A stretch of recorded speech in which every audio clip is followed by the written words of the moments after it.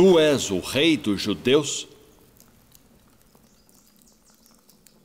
Tu dizes isto de ti mesmo? Ou disseram-te outros de mim? Porventura sou eu judeu?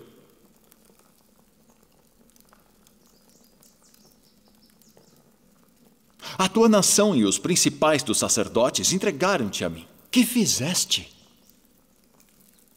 O meu reino não é deste mundo.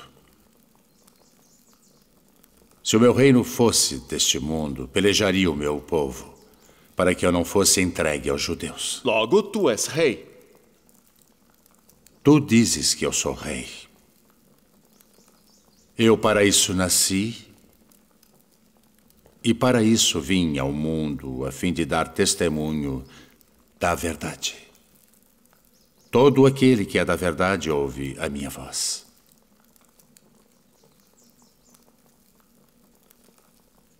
Que é a verdade? Haveis-me apresentado este homem como pervertedor do povo. Eu o examinei na vossa presença, e nenhuma culpa das de que o acusais acho neste homem.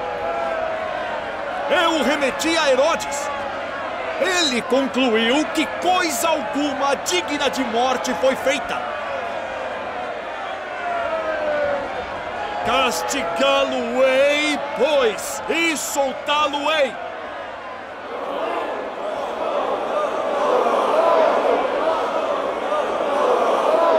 Como de costume, nessa época do ano, um prisioneiro deve ser solto.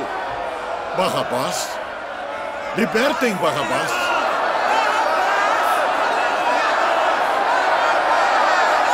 Que farei então de Jesus, que é chamado o Cristo? Crucificai-o. Crucificai-o.